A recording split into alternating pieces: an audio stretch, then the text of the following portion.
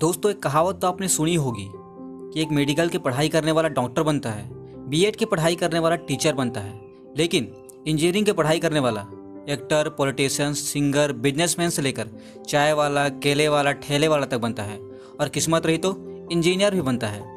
और आज की जो हमारी कहानी है, वो ऐसे ही एक शख्स की है, जो सिविल इंजीनियर से बॉलीवुड का सबसे बड़ा और सबसे डरावना शैतान बना। आज की कहानी है अनिरुद्ध अग्रवाल की जिसको आज के बच्चे तो नहीं जानते होंगे, क्योंकि अब वे फ़िल्मों से दूर हैं। लेकिन एक ज़माना था, जब हर हॉरर मूवी में उनको शैतान के रूप में दिखाया जाता था। अस्सी से नब्बे के दशक में राम से ब्रदर्स की फ़िल्मों जैसे बंद दरवाज़ा पुराना मंदिर जैसी फ़िल्मों से उन्होंने दर्शकों को खूब डराया था। लंबे कद काठी और डरावनी शक्ल से वे खूंखार दिखते थे। तो चलिए जानते हैं, एक सिविल इंजीनियर बॉलीवुड तक कैसे पहुँचा। अनिरुद्ध का जन्म 20 दिसंबर उन्नीस सौ उनचास को देहरादून के पास विकास नगर में हुआ था। पाँच भाई और पाँच बहनों में अनिरुद्ध आठवें नंबर पर थे। उन्नीस सौ चौहत्तर में उन्होंने रुड़की इंजीनियरिंग कॉलेज, जो अब आईआईटी रुड़की कहलाता है, यहाँ से सिविल इंजीनियरिंग की पढ़ाई की।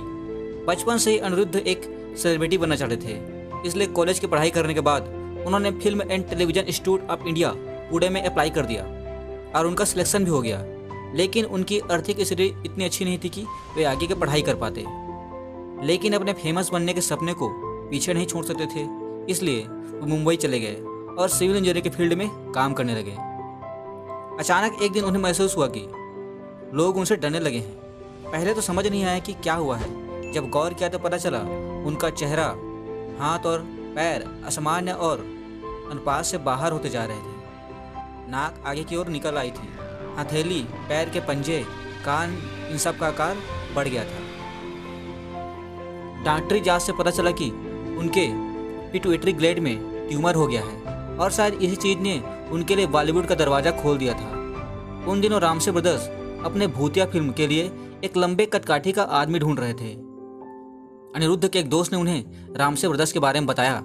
अनिरुद्ध जब वहाँ पहुँचे तो दोनों रामसे ब्रदर्स खुशी से उछल पड़े, क्योंकि उनको अपनी फ़िल्म के लिए शैतान मिल चुका था। ये फ़िल्म थी पुराना मंदिर, जिसके शैतान वाले पार्ट को छोड़कर सभी पार्ट शूट हो चुके थे। अनिरुद्ध ने शैतान की कमी पूरी कर दी। उन्नीस सौ चौरासी में पुराना मंदिर रिलीज़ हुई और ब्लॉकबस्टर साबित हुई। इस फ़िल्म ने सामरी नाम इतना फ़ेमस हुआ कि अगले ही साल रामसे ब्रदर्स ने अनिरुद्ध को लेकर सामरी नाम की फ़िल्म बनाई। और 1990 में बंद दरवाज़ा जिसमें अनिरुद्ध ने नेवला नाम के वेम्पायर का रोल किया था। फ़िल्मों में शुरुआत उन्होंने अजय अग्रवाल नाम से किया था, क्योंकि अनिरुद्ध नाम कठिन सा था। लेकिन कुछ साल बाद वे अपने असली नाम से काम करने लगे। अनिरुद्ध ने लगभग 40 से 45 फ़िल्मों में काम किया। हिंदी फ़िल्मों के अलावा उन्होंने हॉलीवुड की फ़िल्म जंगल बुक की, जो उन्नीस सौ चौरानवे में रिलीज़ हुई।